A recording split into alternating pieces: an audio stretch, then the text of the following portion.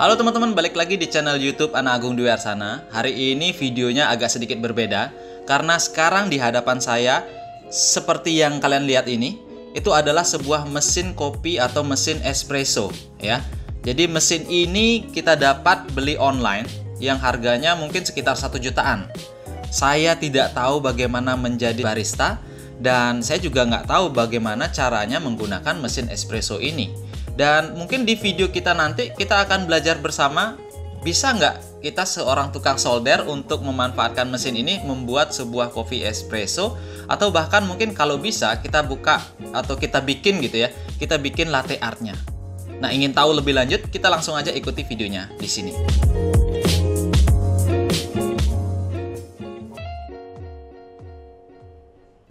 Nah teman-teman mesin espresso ini kemarin dibeli dengan harga 99 dolar jadi mungkin harganya e, berkisaran di 1 juta 400 jadinya ya.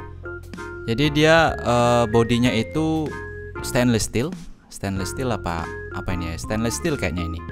Dan dia ada panel touchscreen di depan sini. Kalau dipencet dia akan muncul beberapa tombol yang berkedip seperti ini. Itu artinya dia e, sedang starting up atau memanaskan elemen di dalamnya.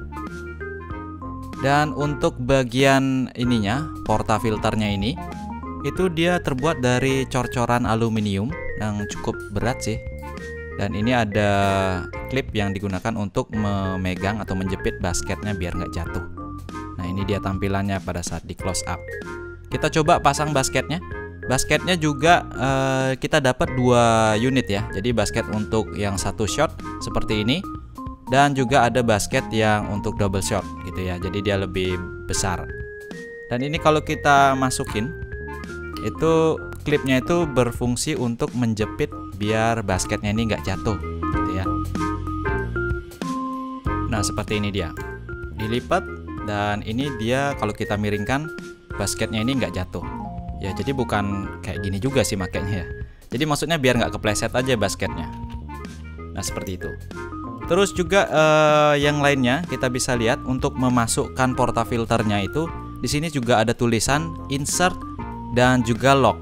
Yang artinya kita bisa masukkan portafilternya itu dari bagian insert terus kita tarik gagangnya yang dari plastik ini bahannya menuju ke lock yang untuk mengunci si portafilternya atau pemegang basketnya itu ya. Lalu untuk menu yang ada di touchscreennya itu, jadi ada single shot, lalu double shot, uh, tombol powernya, dan ini untuk manual dan juga untuk steam milknya. Jadi untuk manual ini juga bisa kita gunakan untuk uh, air hangat yang bakalan uh, muncul di bagian ini ya. Untuk steam milknya ini nanti jadi keluar air panas gitu dia.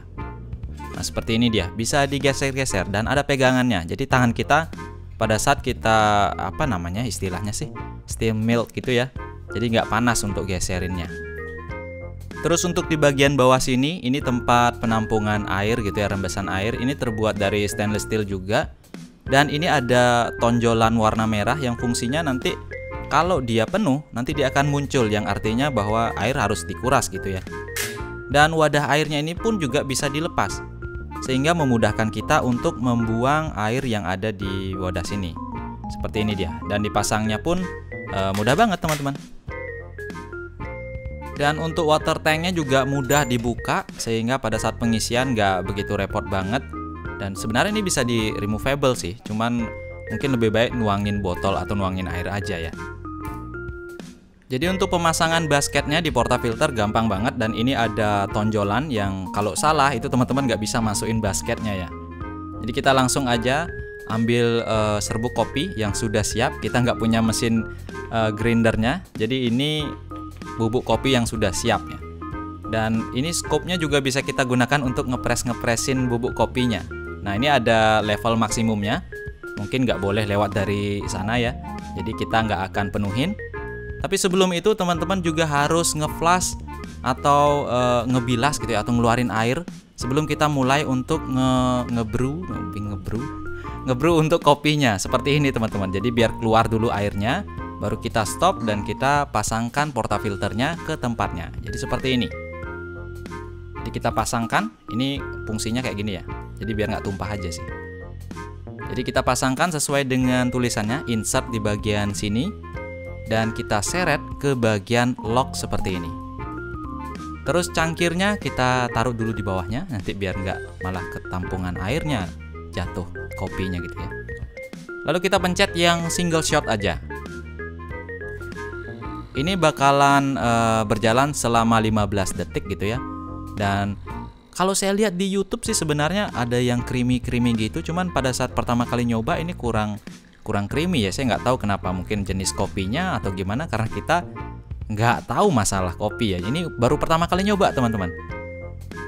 Dan seperti ini hasilnya.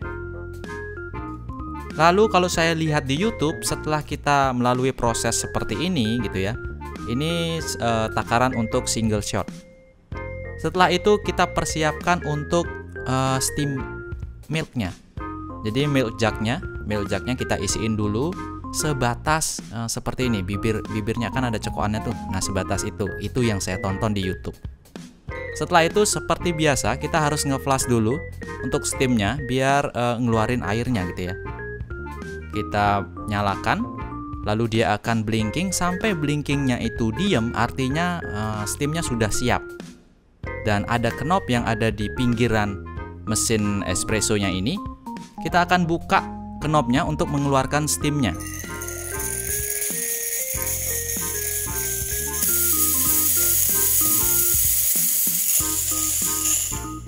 Saya nggak nyangka steamnya itu kuat banget teman-teman. Lalu setelah selesai, kita akan langsung coba membuat foam yang uh, agak tebal karena ini kita mau bikin coba cappuccino ya karena saya nonton cappuccino di YouTube itu uh, bubble-nya kok bubble siapa ya foamnya itu harus tebal gitu ya saya nggak tahu ini bener apa nggak caranya. Tapi ya kira-kira seperti ini teman-teman. Maka uh, volume dari susunya itu akan mengembang. Lalu kalau sudah cukup kita akan stop dan kita akan coba untuk tuangkan di uh, kopi yang tadi kita sudah buat.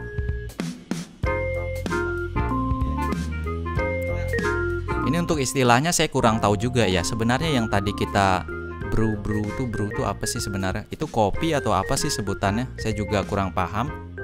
Karena mesin ini juga baru pertama kali saya gunakan ya. Jadi susu yang tadi kita sudah steam kita tuangkan seperti ini. Lalu kalau nggak salah di YouTube itu setelah agak-agak penuh maka foamnya harus dituangkan ke cangkirnya atau di apa ya menggunakan sendok kita tinggal sapu aja ke cangkirnya lalu dia sudah menuhin kayak gini terus kayak di iklan-iklan setelah penuh tinggal ditaburin aja deh. Coko granulnya gitu. Coko granul apa apa sih? Coklat gitu ya.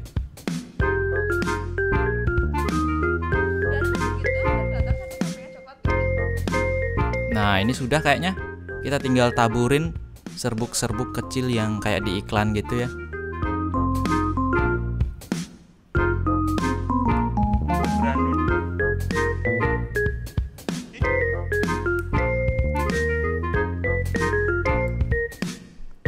ini bener nggak? Lalu dicoba oleh Mbak Eka. Saya nggak tahu ini rasanya kayak gimana ya. Tapi kalau tadi uh, waktu begitu nyoba, kayaknya rasanya mirip-mirip dengan dengan uh, kopi yang dijual di kafe-kafe kopi di dekat rumah saya sih. Jadi sukses. Jadi bisa dikatakan saya sukses membuat cappuccino. Sekarang mungkin saya akan belajar membuat uh, latte artnya apakah saya bisa? Jadi prosesnya diulang lagi dari menaburkan bubuk kopi di basketnya, terus porta filternya, port porta filter gitu ya. Dan kita pasang, kita buat lagi yang baru. Lalu untuk milknya mungkin dibuat uh, jangan sampai foamnya itu besar-besar ya, jangan sampai foamnya kasar gitu katanya di YouTube. Jadi single shot lagi, kita akan lihat apakah sekarang lebih creamy teksturnya atau sama dengan yang tadi. Ini sekitar 15 detik teman-teman.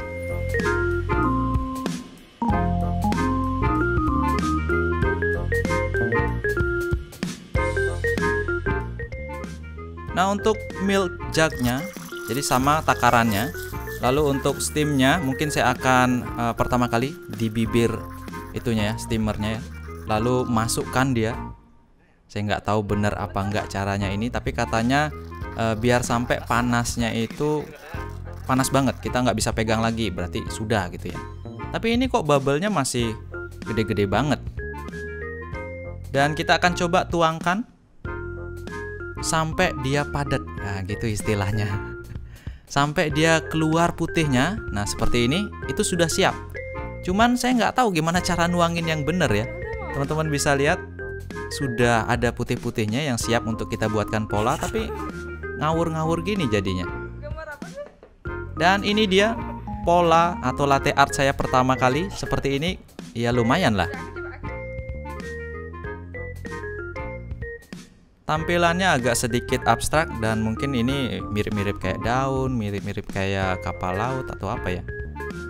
Ya, seperti inilah hasilnya teman-teman. Jadi foamnya lumayan bagus untuk pemula yang belum pernah sama sekali uh, bikin seperti ini. Sekarang Eka, gilirannya Eka sekarang setelah kita berhasil membuat latte art seperti ini, kita akan lihat bagaimana Eka membuat sebuah latte art juga dan juga nanti akan diikuti oleh Dodok. Kita akan lihat hasilnya. Jadi sama kita buat lagi dan ini uh, lebih creamy lagi ya. Mungkin ada takaran yang harus kita apa ya tentukan ya banyaknya bubuk kopi mungkin. Enggak barista full. Ukle kayak tornado nih baru bagus nak.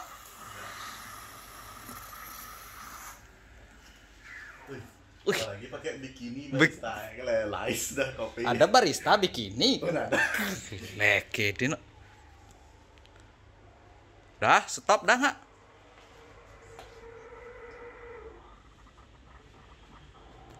Kok nggak panas sih? Panas ininya nak pegang panas. Udah ya. Dah, stop. Dah. Situ. Eh. Baik. Kita lihat Mbak Eka akan kalau cewek apa namanya? Nggak tahu gue sama. Nggak tahu kalian ini dah. Nggak ngerti. Mas tumpah. Taruh, taruh, taruh, taruh. Udah. Dah. Ih, kok gini deh? Langsung pudeh. Enggak, enggak, taruh, taruh. Itu kayak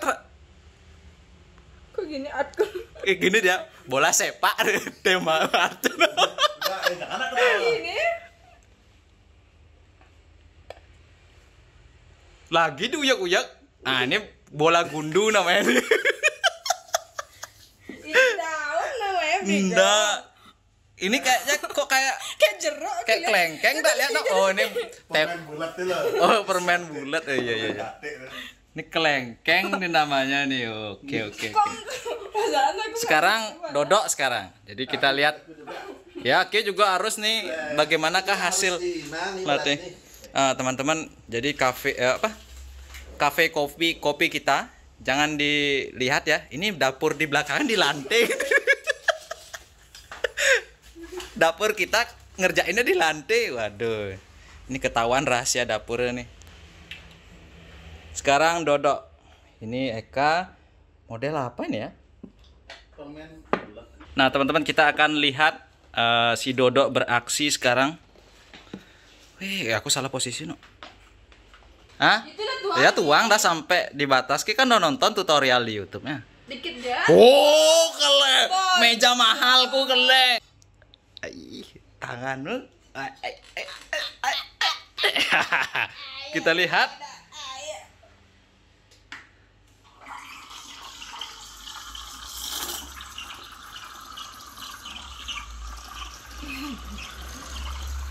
Belak, belok, belak, belok. Gak ada panik. Ada panik Ah, enggak? Kok banyak busanya ya? Iya, Ki. Mau bikin kue sus ya?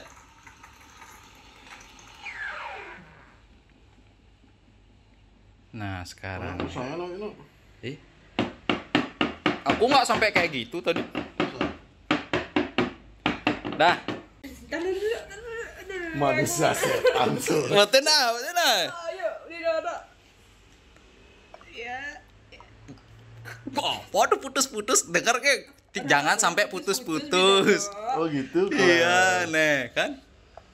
Muter, muter, muter. Oh, lagi putus-putus Dodok. Gak jadi apa. Belum tuh. Gak boleh menghina. Oh ya nggak boleh menghina.